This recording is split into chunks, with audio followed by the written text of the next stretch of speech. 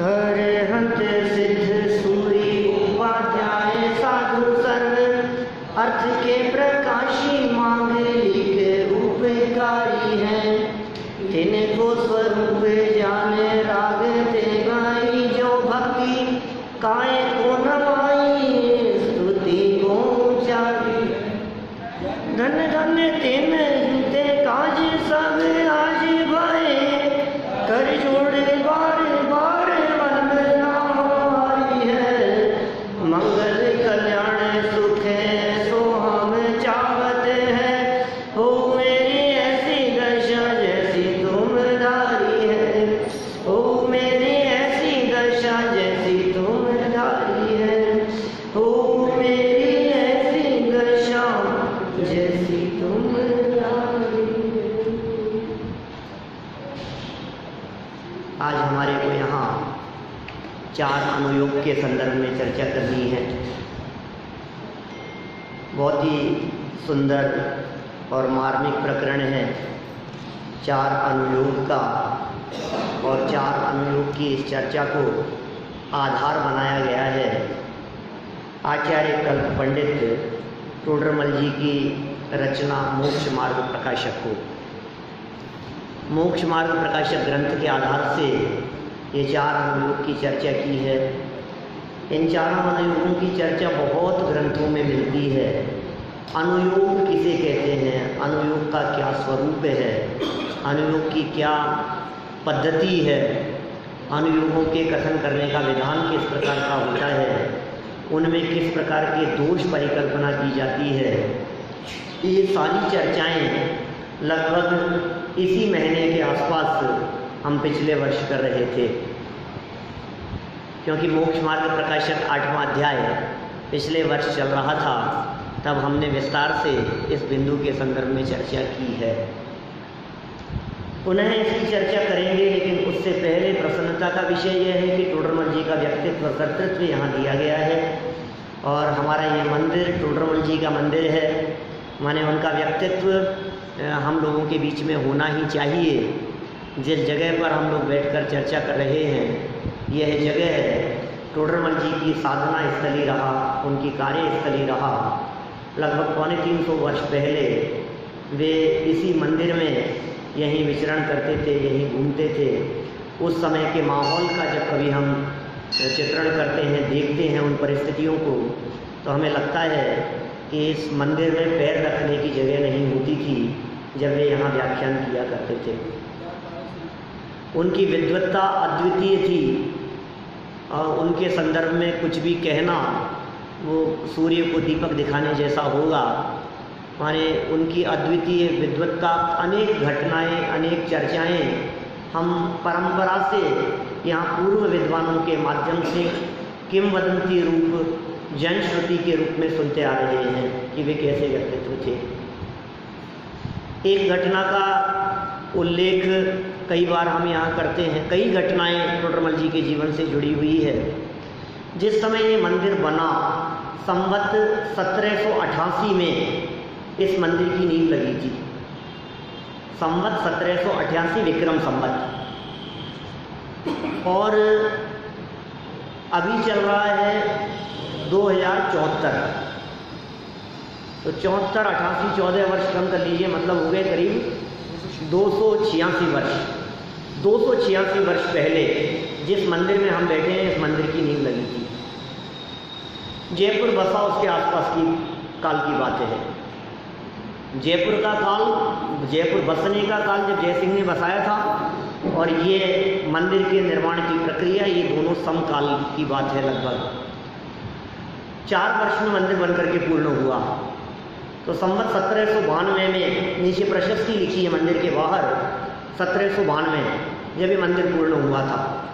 जब मंदिर निर्माण प्रक्रिया के दौरान था उस समय से ही यहाँ शास्त्र परंपरा प्रारंभ हो गई थी।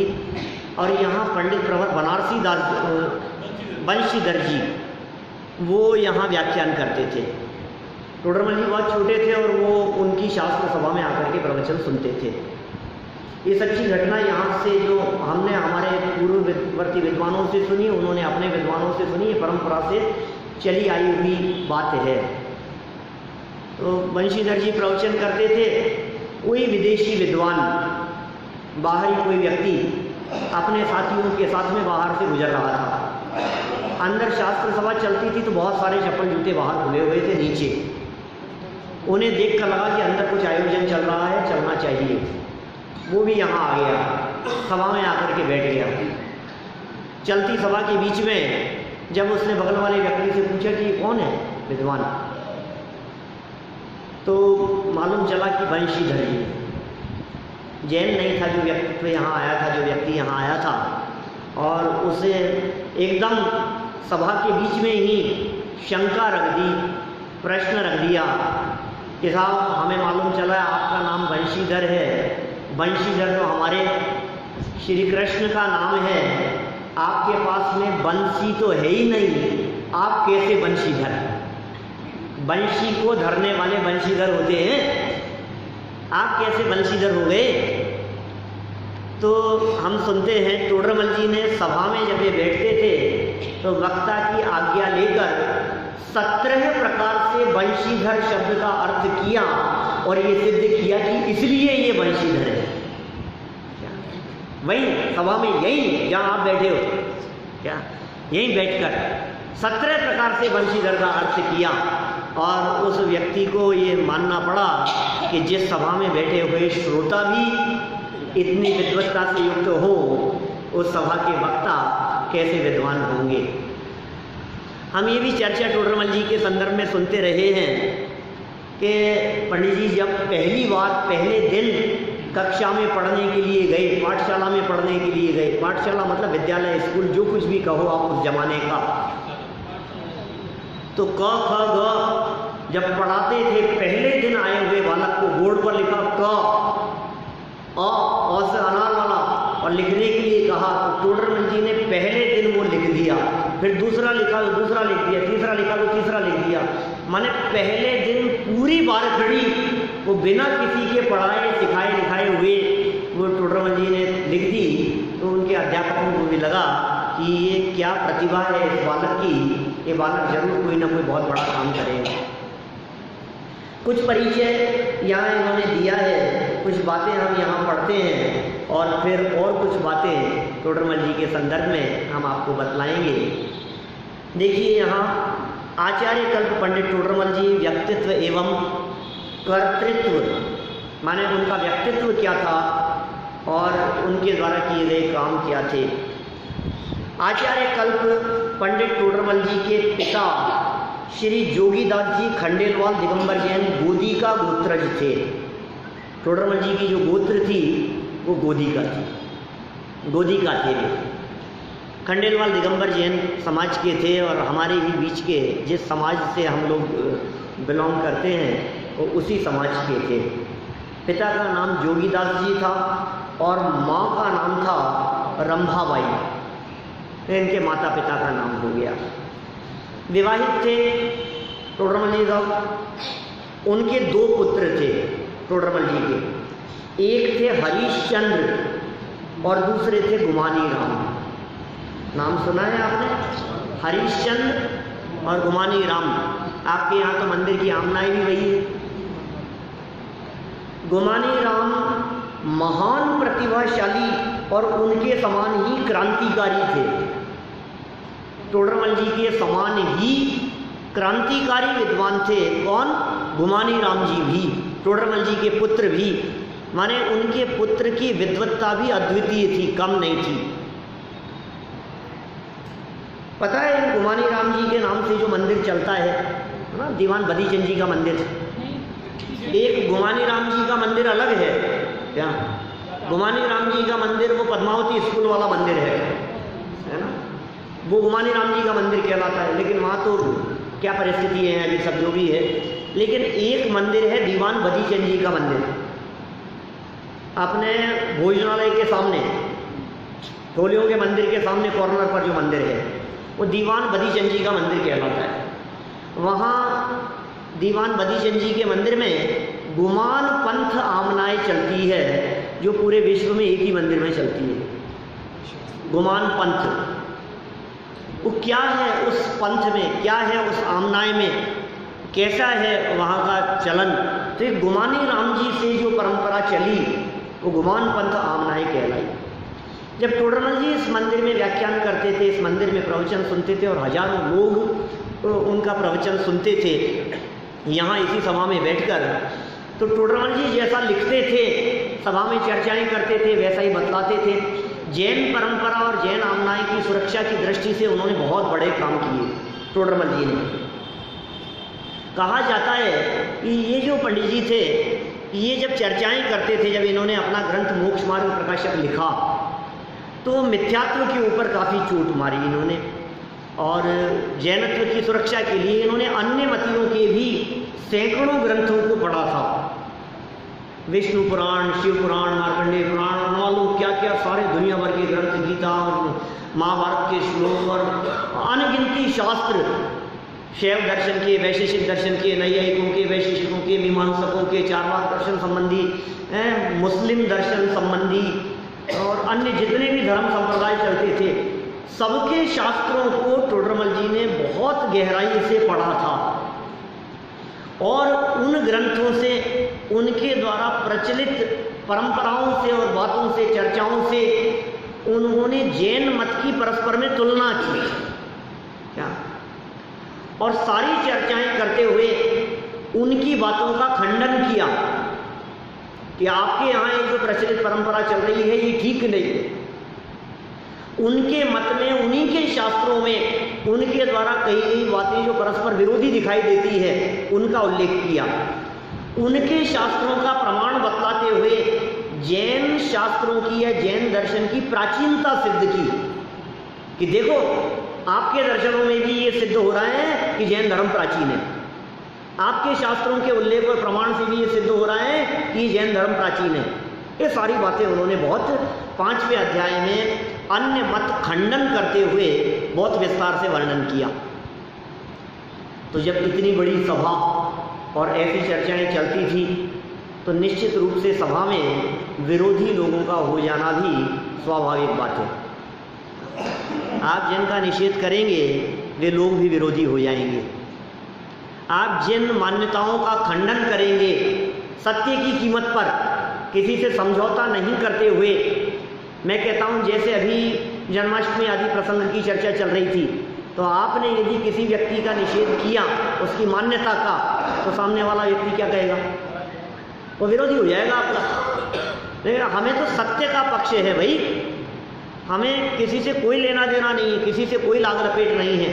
ऐसे विकल्प पूर्वक ऐसे विचारों पूर्वक पंडित टोडरमल जी साहब ने वो सारा प्रतिपादन किया। इतना ही नहीं, ये सारा वर्णन तो उन्होंने किया ग्रहित मिथ्यात्व के रूप में पाँचवें अध्याय में, मोक्ष मार्ग प्रकाशक के। फिर छठे अध्याय में उन्होंने जैन कुल में उत्पन्न होने वाले ग्रहित मिथ्यात्वियों की चर्चा की। जैन कुल में जन्म लेकर के भी जो बाहरी देवी देवताओं को जो मानते हैं, वो ऐसी मान्यताओं का खूब खंडन किया। तो जो जैनी लोग थे, वो भी कुछ विरोधी होने लगे। फिर आगे बढ़ते हुए छठवें अध्याय के पश्चात सातवें अध्याय में आकर उन्होंने जैन शास्त्र पढ़ने वालों को भी नहीं छोड़ा। क्या?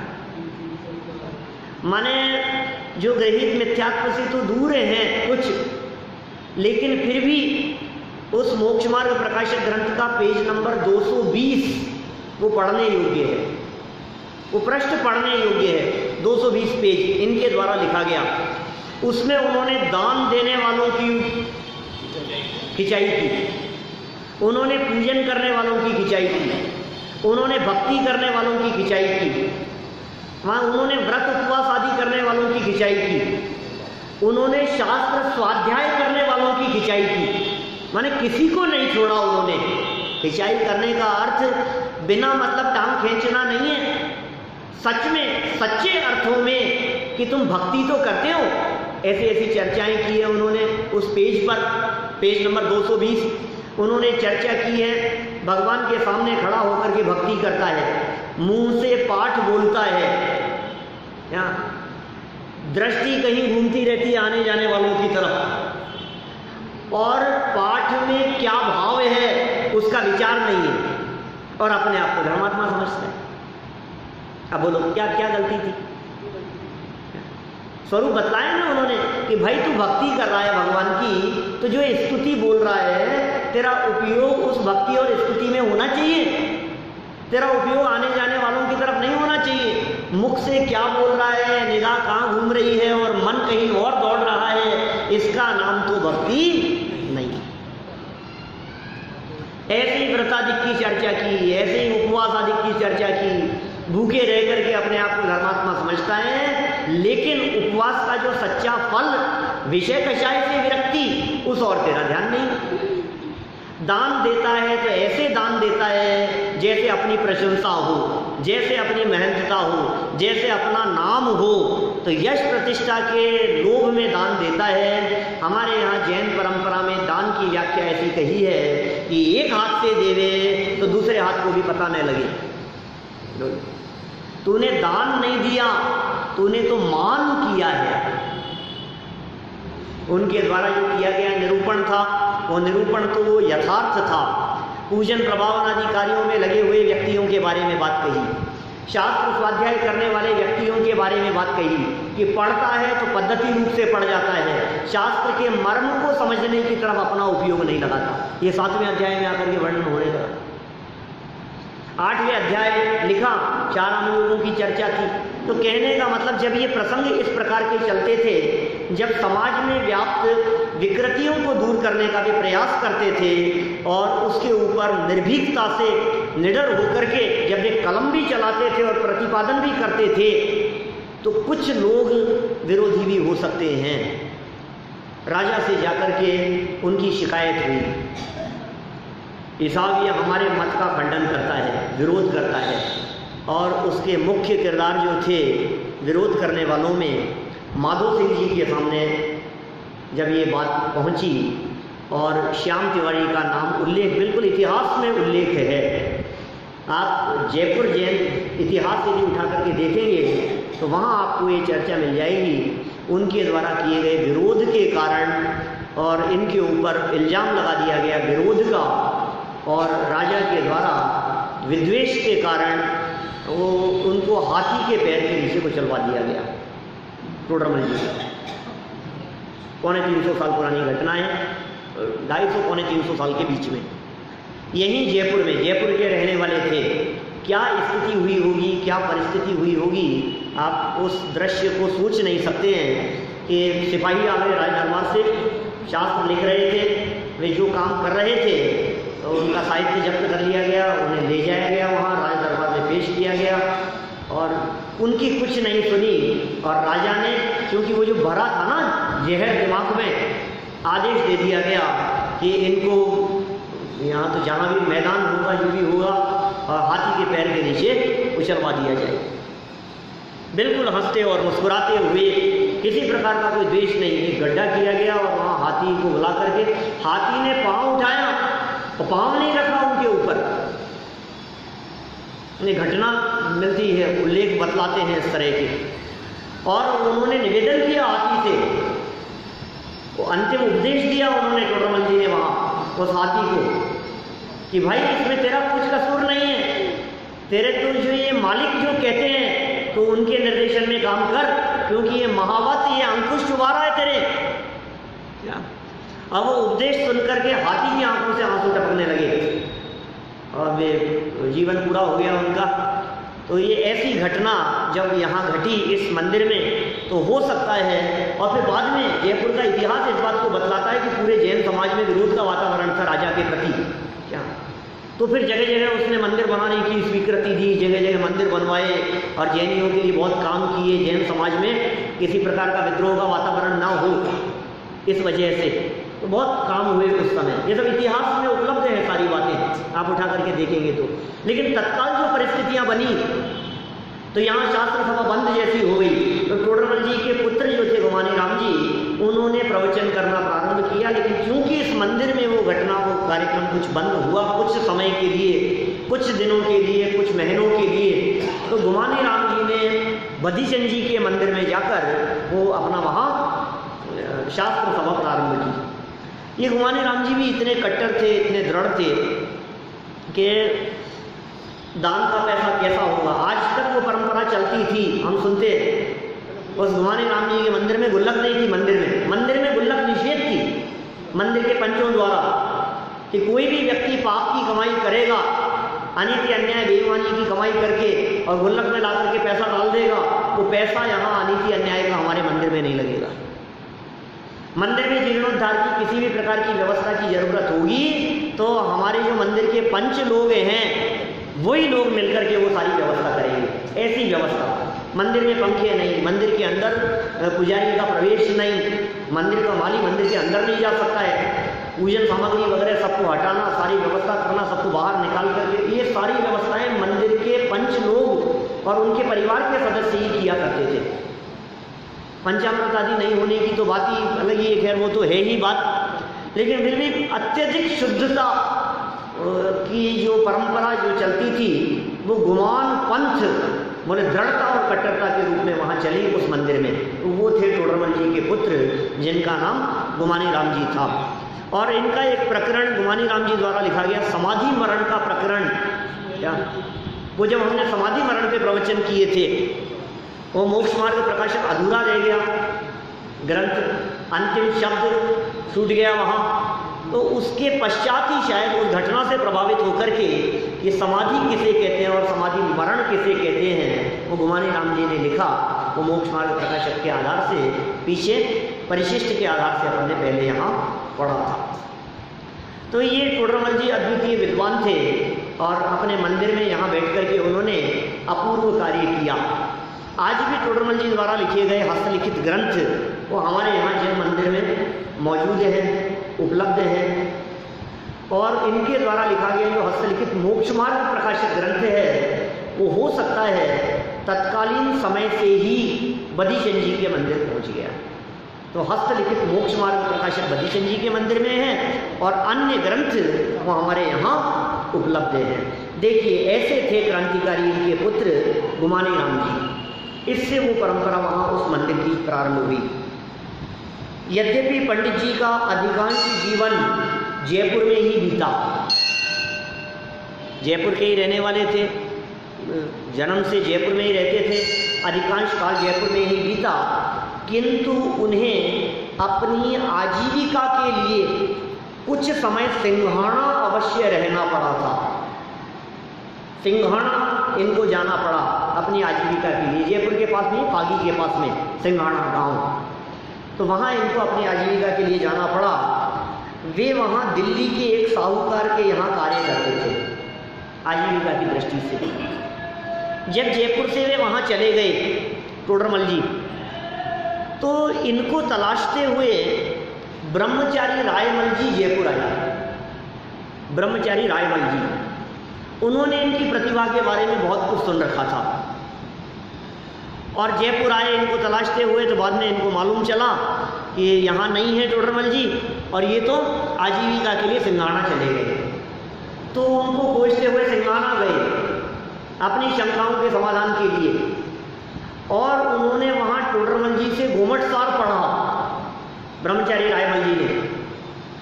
गोमट सार पढ़ा, फिर उन्होंने निवेदन किया टोडरमल जी से कि आप इस गोमट सार ग्रंथ के ऊपर टीका क्यों नहीं बना देते हो? टीका क्यों नहीं लिखते हो? व्याख्या क्यों नहीं करते हो? तो टोडरमल जी ने गोमट सार जीव कांड ग्रंथ, ये गोमट सार ग्रंथ कौन सा? चामुंडराय वाला याद है ना थोड़ी बहुत बात? आचार्य नेमीचंद सिद्धांत चक्रवर्ती द्वारा लिखा गया, जिनके निर्देशन में श्रवण बेलगोला की बाहुबली स्वामी की प्रतिमा बनी थी, जिसका महामस्तकाभिषेक अभी वापस पुनः 2018 में फरवरी में होने वाला है। तो वो नेमी चंद्राचार्य का ग्रंथ गोमटसार जीवकांड गोमटसार कर्मकांड लब्धिसार क्षपणासार इन ग्रंथों की टीकाएँ सम्यक ज्ञान चंद्रिका के नाम से ब्रह्मचारी रायमल जी के निवेदन पर टोडरमल जी ने लिखी। टोडरमल जी ने जयपुर आने का निवेदन किया उनको और जयपुर आकर के जयपुर जैन समाज को बहुत अधिक, क्या कहेंगे, खरी खोटी सुनाई उन्होंने। ब्रह्मचारी रायमल जी ने कि ये जयपुर जैन समाज, तुम यहाँ विद्वानों की कदर नहीं कर सकते। इतना बड़ा समाज होते हुए भी एक विद्वान को यहाँ से जाना पड़े आजीविका के लिए। ये पूरे समाज के लिए शर्म की बात है।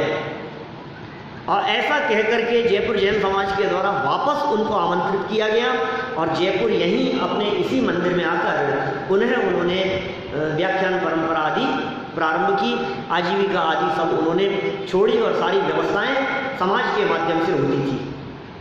यहाँ काम करते थे कुछ समाज का, जो भी काम होता था, कुछ लिखा पड़ेगा गए, कुछ भी थोड़ा बहुत, और सारी व्यवस्थाएँ उनके लिए होती थी और वे अपने आत्मकल्याण के मार्ग में लगे हुए थे। तो ऐसा उनका व्यक्तित्व था। ऐसा सुनते हैं हम टोडरमल जी के बारे में जब अपन ने मोक्ष मार्ग प्रकाशक शुरू किया था तो उसकी प्रस्तावना में बहुत सारी बातें पढ़ी थी, इन टोडरमल जी के व्यक्तित्व के बारे में। ये टोडरमल जी, जब यहाँ से शास्त्रों को पढ़ते थे घूमट सारा जी पढ़ते थे तो उन्हें कुछ ज़रूरत महसूस हुई धवलादि ग्रंथों के बारे में। षटखंडागम हमारी जैन परंपरा का पहला ग्रंथ है, लिपिबद्ध ग्रंथ लिखा हुआ, षटखंडागम। उस ग्रंथ की टीका है धवला। और इन्हें ज्ञात हुआ कि ये जो धवलादिक हैं ये वहाँ दक्षिण भारत में उपलब्ध है। कन्नड़ भाषा में। तो टोडरामल जी यहाँ से गए दक्षिण भारत में। और सुनते हैं ऐसा कि अपने चार पाँच साथियों के साथ में जब जयपुर से वे दक्षिण भारत गए तो उनको पहुँचने में तीन चार महीने का समय लग गया। क्या? बैलगाड़ी से रुकते हुए बीस पच्चीस किलोमीटर तीस चालीस किलोमीटर चलते होंगे, फिर रुक जाते होंगे। हैं, फिर रात्रि विश्राम करते होंगे, दूसरे दिन फिर भोजन आदि लेकर के फिर चलते होंगे। फिर बैलगाड़ी कितना चलेगी दिन भर में। बैल भी तो आखिर, प्राणी तो हैं। तो ऐसे चलते चलते दो तीन चार महीनों में वो दक्षिण भारत पहुँचे। ऐसा भी सुनते हैं हम कि टोडरमल जी ने अपनी योग्यता और अपनी प्रतिभा के बल पर कन्नड़ लिपि को पढ़ना सीख लिया था। कन्नड़ लिपि कैसी लिपि है? आप लोग जानते हैं, आप लोगों ने देखा है कभी? कन्नड़ देखी है आपने? हमने देखी है। और कई कर्नाटक के विद्यार्थी भी यहाँ कर्नाटक में कई बार गए भी हैं। हम प्रवचन भी किए हैं वहाँ बेलगाम वगैरह में। तो वो जो लिपि है, कन्नड़ लिपि, वो ऐसी होती जलेबी जैसी गोल गोल क्या? आप उसे देख लो तो आपको अंतर ही समझ में नहीं आए कि ये अक्षरों में कुछ अंतर भी है क्या? ऐसी ऐसी लिपि। ऐसी लिपि को उन्होंने अपनी प्रतिभा के बल पर उस कन्नड़ भाषा को वो उन्होंने सीखा। दुर्भाग्य रहा एक आध व्यक्ति की उस दौरान डेथ भी हो गई साथ में जाने में और दुर्भाग्य रहा कि उनको धवलादि ग्रंथ उपलब्ध न हो सके, प्राप्त नहीं हो सके। खैर, जो भी रहा, लेकिन इनकी जो प्रतिभा थी, वो अद्वितीय थी, विलक्षण थी, अद्भुत थी। देखिए सिंघाना अवश्य रहना पड़ा इनको आजीविका के लिए। वे वहाँ दिल्ली के साहूकार के यहाँ कार्य किया करते थे टोडरमल जी। परंपरागत मान्यतानुसार उनकी आयु 27 वर्ष की मानी जाती है। शोध खोज का विषय है, कितने वर्ष की उनकी उम्र रही होगी? 27 वर्ष मानी जाती थी। किंतु उनकी साहित्य साधना, ज्ञान व नवीनतम प्राप्त उल्लेखों द्वारा, उल्लेखों तथा प्रमाणों के आधार पर यह निश्चित हो चुका है कि वे सैंतालीस वर्ष तक अवश्य जीवित रहे। लेकिन सैंतालीस वर्ष भी कोई बहुत ज़्यादा उम्र नहीं होती। सैंतालीस वर्ष की अल्प आयु में उनका देहावसान हो गया, देहांत हो गया, प्राणांत हो गया, उनका जीवन पूरा हो गया सैंतालीस वर्ष की उम्र में। हाँ जो भी आयु पूरी होनी थी, इतना ही उनका जीवन था तो खत्म हो गया। एक बहुत पुरानी बात है, मेरे को एक विशेषांक मिला था। वीरवाणी का पंडित भंवरलाल जी न्याय तीर्थ आपने नाम सुना होगा। हैं? हाँ मिले, हमारे तो रिलेशन भी लगते हैं। मेरे जिया जी लगते हैं, उनके पिता थे। मेरी बुआ की लड़की के, खास बुआ की लड़की के ससुर जी थे भंवरलाल जी न्याय तीर्थ वो वीर प्रेस चलती है मनिहारों के रास्ते में, है ना? वीर प्रेस उनके द्वारा चलती थी। भंवरलाल जी न्यायतीर्थ के द्वारा बहुत बड़े विद्वान थे न्यायतीर्थ थे। तो वो वीरवाणी नाम का एक विशेषांक उनका निकाला हुआ मेरे हाथ लगा था अभी कुछ समय पहले।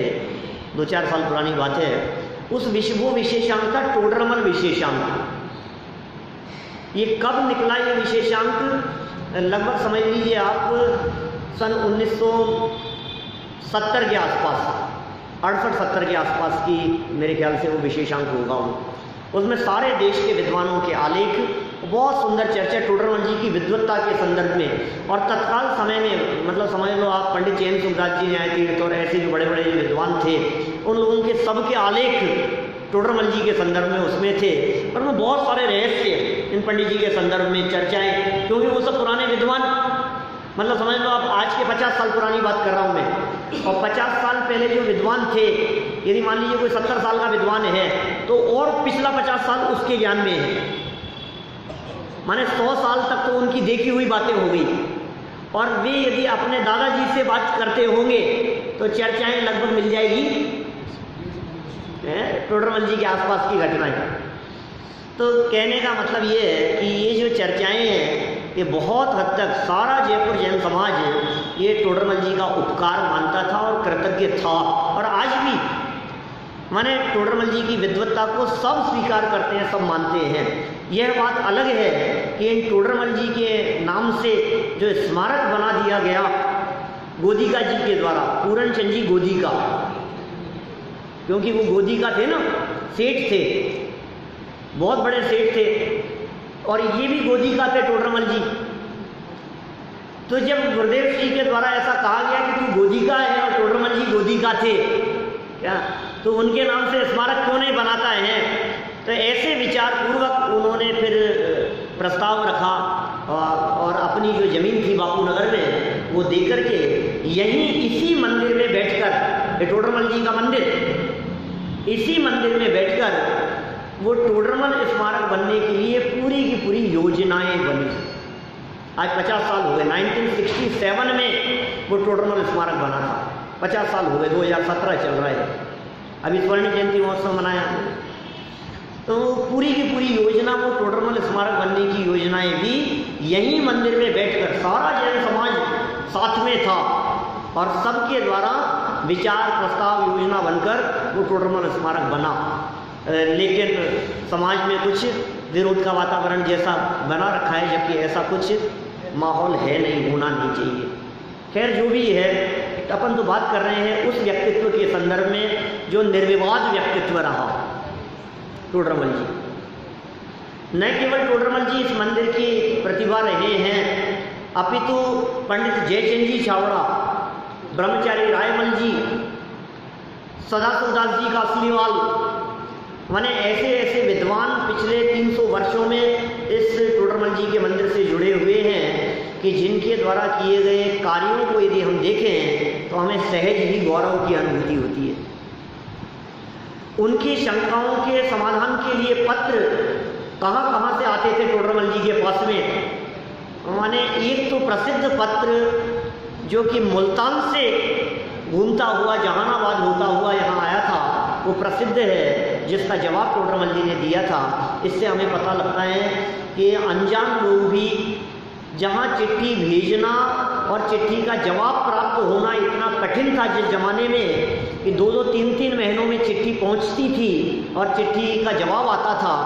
ऐसे समय में भी अपनी शंकाओं का समाधान जानने के लिए ये चिट्ठियाँ प्रश्न और तत्वज्ञान से भरे हुए प्रश्न ये टोडरमल जी के पास में आया करते थे। इस मंदिर में बैठ कर के वो पंडित जी उसका जवाब लिखा करते थे। माने इससे पता लगता है कि वे कैसे अद्वितीय विद्वान थे। एक उल्लेख मैंने दो तीन दिन पहले भी आप लोगों के सामने किया था कि टोडरमल जी ने अपने समय में एक इंद्रध्वज विधान लिखा था। लिखा नहीं था, कराया था। इंद्रध्वज विधान, आठ दिन का अष्टानिका में। वो जो इंद्रध्वज विधान टोडरमल जी के समय में हुआ था, उस समय उस इंद्रध्वज विधान को कराने के लिए जो आमंत्रण पत्रिका बनी थी, क्या? वो आमंत्रण पत्रिका की कॉपी अवेलेबल है? वो उपलब्ध है वो, इतने वर्षों बाद में भी।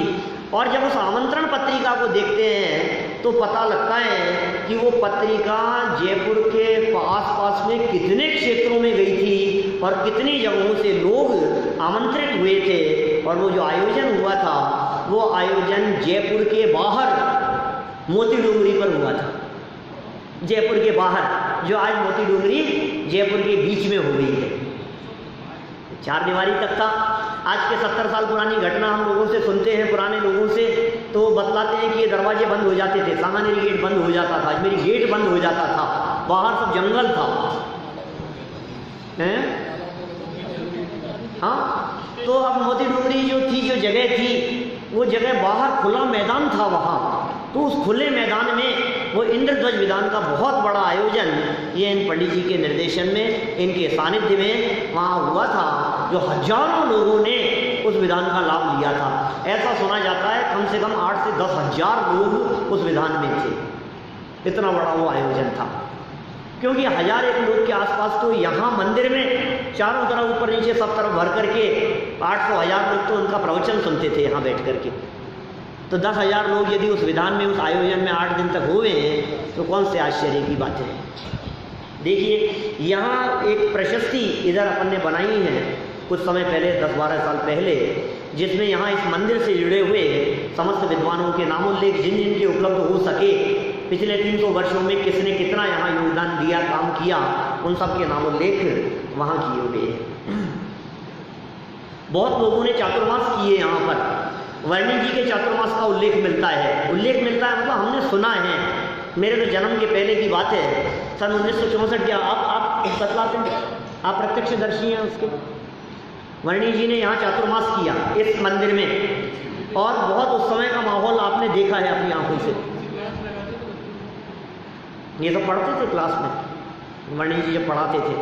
गणेश प्रसाद जी वर्णी की बात है। बड़े वर्णी जी।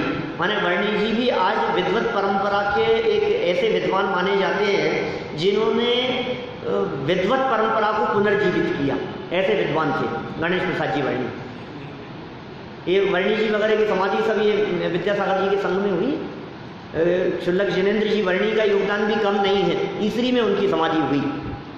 और मेरा तो विचार था जिनेन्द्र जी वर्णी के ऊपर पीएचडी का, और काफ़ी प्रयास भी किया। तो सारा उसके संबंध में जिनेन्द्र जी वर्णी के संबंध में जानकारी पता लगा ये क्षमा सागर जी वगैरह ने उनकी सल्लेखन और समाधि में सहयोगी हुए बहुत ज़्यादा, वर्णी जी की समाधि में। खैर देखिए, यह सिद्ध हो चुका है प्रमाणों से, उल्लेखों से कि उनकी उम्र सैंतालीस वर्ष की रही और वे सैंतालीस वर्ष तक जीवित रहे। उनकी मृत्यु तिथि विक्रम संवत अठारह सौ तेईस चौबीस लगभग निश्चित है। अतः उनका जन्म विक्रम संवत सत्रह सौ छिहत्तर सतहत्तर में होना चाहिए। दो हज़ार चौहत्तर पे चल रहा है, है? तो लगभग 300 साल हो गए 300 साल पहले उनका जन्म हुआ था। उन्होंने अपने जीवन में छोटी बड़ी बारह रचनाएँ लिखी टोडरमल जी ने। ऊपर व्यक्तित्व की जो थोड़ी बहुत बातें हुई उनका उल्लेख किया अब उनका कर्तृत्व बतला रहे हैं। जिनका परिमाण करीब एक लाख श्लोक प्रमाण है। एक लाख श्लोक प्रमाण। माने किसी विद्वान के माध्यम से इतना बड़ा कार्य किया जाना, ये बहुत दुर्लभ दिखाई देता है। और इन्होंने जो ये काम किया, जो लेखन काम किया, जो शंकाओं के समाधान का काम किया, माने इनकी प्रतिभा को देखकर लोगों ने इनको उपाधि दी आचार्य कल्प। क्योंकि मुनि मुनि नहीं थे। जिस समय टोडरमल जी यहाँ थे ना, जिस जमाने में, उस जमाने में एक भी दिगंबर संत यहाँ नहीं था, पूरे जयपुर में नहीं, पूरे हिंदुस्तान में नहीं। इस विश्व की धरती पर नहीं था। बीच में लगभग 300-400 वर्ष का काल ऐसा रहा, अंतराल काल, जिस समय में एक भी दिगंबर साधु का सद्भाव इस धरती पर नहीं था। वो गैप था। एक भी नहीं थे साधु। तो ये जो टोडरमल जी ने जो काम किया तो लोग ऐसा कहते थे कि इस युग में, इस काल में जो काम आचार्यों के द्वारा किया जाने योग्य है, वो टीकाएँ, लिखने और साहित्य सृजन का काम आपके द्वारा किया गया। तो आप कैसे हैं, आचार्य कल्प। ठीक है, ऊपर नया नाम भी लिखा है। आचार्य कल्प। आगे क्या लिखा है? पंडित प्रवर टोडरमल जी। आचार्य कल्प पंडित टोडरमल जी। तो आचार्य की परिकल्पना की गई इनके संदर्भ में। आचार्य नहीं थे। क्या? लेकिन आचार्य की कल्पना, जो काम आचार्यों के द्वारा किया गया, वैसा काम आपने किया, इसलिए आप आचार्य कल्प पंडित टोडरमल जी कहलाए। एक कल्प शब्द का अर्थ होता है, दूसरा अर्थ कल्प वृक्ष के अर्थ में कल्प। वो कल्प वृक्ष क्या होता है? कि उस कल्प वृक्ष से आप जो मांगो, वो मिल जाता है। तो ऐसे ही टोडरमल जी, ऐसे कल्प के समान थे, ऐसे कल्प वृक्ष के समान थे, चारों अनुयोगों के ऐसे ज्ञाता थे, प्रथमानुयोग, चरणानुयोग, कर्णानुयोग, द्रव्यानुयोग, किसी भी अनुयोग और किसी भी ग्रंथ की गहराई की बातें यदि उनसे पूछी जाए तो जैसे कल्प वृक्ष से मांगने पर मिलता है, उस तरह से उनसे पूछने पर उसका समाधान मिल जाया करता था। इसलिए भी वे कल्प कहलाए। ऐसे उनका नाम हो गया आचार्य कल्प। ये उपाधि हो गई उनके साथ में। और पंडित टोडरमल जी तो उनका नाम था। ही देखिए, छोटी बड़ी बारह रचनाएँ आपने लिखी, जिनका परिमाण करीब एक लाख श्लोक प्रमाण है। पाँच हज़ार पृष्ठों के करीब कितना बड़ा काम हुआ। उनमें से कुछ तो लोकप्रिय ग्रंथों की विशाल प्रामाणिक टीकाएँ हैं। लोकप्रिय ग्रंथ, माने गोमठ साराधिक, त्रिलोक साराधिक, ये बहुत लोकप्रिय ग्रंथ थे और उनकी विशाल टीकाएँ हैं। और कुछ हैं स्वतंत्र रचनाएँ। वे गद्य और पद्य दोनों रूपों में पाई जाती है। आप लेखक भी बहुत ज़बरदस्त थे। गद्य और पद्य दोनों ही आपका बहुत परिपक्व था। हिंदी साहित्य में, हिंदी साहित्य की बात कर रहा हूँ मैं, जैनियों की बात नहीं कर रहा हूँ। हिंदी साहित्य में टोडरमल जी का मोक्ष मार्ग प्रकाशक अपने आप में ऐसा प्रौढ़ ग्रंथ है, इतनी सुंदर रचना है वो कि टोडरमल जी के पहले और कोई भी गद्य रूप में इतनी व्यवस्थित, इतना सुंदर, ऐसा ग्रंथ और ऐसी रचना हिंदी में कहीं नहीं मिलती। हिंदी साहित्य में वो बेजोड़ ग्रंथ है। दोनों रूपों में आपकी रचनाएँ हैं। मोक्ष मार्ग प्रकाशक आपका मौलिक ग्रंथ है। रहस्य पुन चिट्ठी आपकी मौलिक है। गोमट सार पूजा 300 साल पहले आपके द्वारा लिखी गई। समव शरण रचना का वर्णन ये भी आपका मौलिक वर्णन है समव शरण की रचना। और हो सकता है कि आपका जो समव शरण वर्णन जो आपका जो टोटरमल जी द्वारा जो लिखा गया, इसको आधार बनाकर आपके पुत्र गुमानी राम जी के निर्देशन में या आगामी लोगों ने वो बदीचंद जी के मंदिर में समव शरण की, पूरी लकड़ी की और गोल्ड प्लेटेड रचना बनाई गई। बदीचंद जी के मंदिर में सेकंड फ्लोर पर, जहाँ मंडल की मीटिंग होती है। क्या साहब कभी भी देख लो। उसमें क्या? हाँ। चलिए और कौन सी रचनाएँ? पुरुषार्थ सिद्धि उपाय भाषा टीका। ये भी आपके द्वारा लिखा गया। आत्मानुशासन गुण भद्राचार्य का ग्रंथ है। पुरुषार्थ सिद्धि उपाय आचार्य अमृतचंद्र द्वारा लिखा गया ग्रंथ है। इनकी टीकाएँ आपके द्वारा हुई। गोमटसार जीवकांड भाषा टीका गोमटसार कर्मकांड भाषा टीका अर्थ संदृष्टि अधिकार ये सब गोमट सार नेमी चंद्राचार्य की रचनाएँ हैं, उनकी टीका है। लब्धि सार भाषा टीका, शपना सार भाषा टीका और त्रिलोक सार भाषा टीका। भाषा मतलब तात्कालिक भाषा में उन्होंने उसकी व्याख्याएँ लिखी। आपके संबंध में विशेष जानकारी के लिए पंडित टोडरमल व्यक्तित्व और कर्तृत्व नामक ग्रंथ देखना चाहिए। 300 पेज का ग्रंथ आपके व्यक्तित्व, कर्तृत्व के संदर्भ में, जो कि डॉक्टर हुकमचंद जी भारती द्वारा की गई पीएचडी है, उन्होंने इन पर पीएचडी की। तो शोध खोज करके जो भी बातें हैं, वो सब उन्होंने लगभग 300 पेजों में, प्रमाणों के साथ में, राजा के प्रमाण, उनकी प्रतियाँ और कहाँ कहाँ की प्रतियाँ कौन कौन से शास्त्र भंडारों से उपलब्ध प्रतियों के आधार पर, वो सारी बातें उन्होंने लिखी है। प्रस्तुत पाठ, मोक्ष मार्ग प्रकाशक के अष्टम अधिकार के आधार पर लिखा गया है। माने उस मोक्ष मार्ग प्रकाशक का जो आठवां अध्याय है, एक स्वतंत्र चैप्टर है, उस चैप्टर में चारों अनुयोगों की चर्चा की है। ये चार अनुयोग कौन से हैं? इन चार अनुयोगों का क्या स्वरूप है? उन चार अनुयोगों की पद्धति किस प्रकार की रही है? इसका बहुत सुंदर विवेचन वहाँ किया है, जो लगभग महीने, दो महीने अपन ने यहाँ चलाया होगा। मैंने चार अनुयोग की चर्चा लगभग दो महीने हमने पहले यहाँ की है। और लेकिन हमारे को लगभग एक प्रवचन में या अधिकतम दो प्रवचनों में हमें इन चार अनुयोगों की चर्चा करनी है। अनुयोग माने शास्त्रों की कथन करने की पद्धति, हमारे जो साहित्य लिखा गया, हमारे जो ग्रंथ लिखे गए, उनकी लेखन पद्धति किस प्रकार की रही, इन सब बातों की बहुत सुंदर व्याख्या जिनवाणी माँ उसकी रचना कैसे हुई है कितने रूपों में उन शास्त्रों को विभाजित किया जा सकता है। बहुत सुंदर, मार्मिक, रोचक चर्चाएँ इन चार अनुयोगों के बारे में होने वाली हैं। जो सारी चर्चाएँ हम कल यथा समय करेंगे। आज की बात को यहीं विराम हैं।